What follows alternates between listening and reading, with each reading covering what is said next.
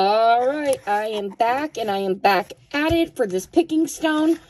Last time I just used items that I found in the dollar store because I wanted to show you a cheap and easy way to do it. But today I have some lava stones here that I got from Amazon. You can see the holes are much bigger. And some liquid latex we're going to color. Let's try this again.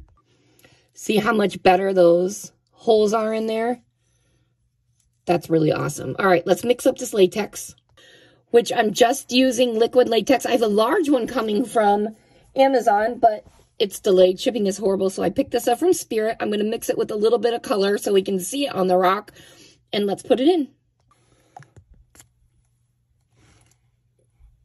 Liquid latex is the good stuff they use in special effects makeup because it peels right off. So I can see why this would be perfect thing for this. All right, let's color this green and let's get it on this rock.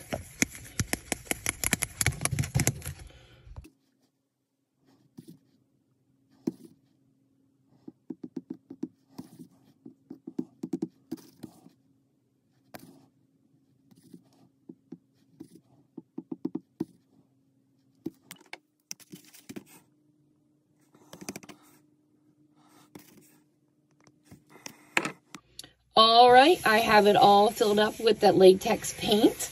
I'm to let it dry, and I hope this works. I want to show you guys that you don't have to purchase it. The lava stones were about $4. The liquid latex was $2.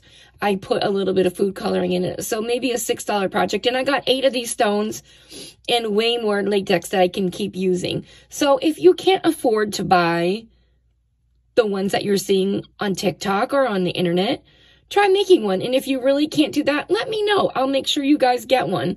But yeah, let's see how this does.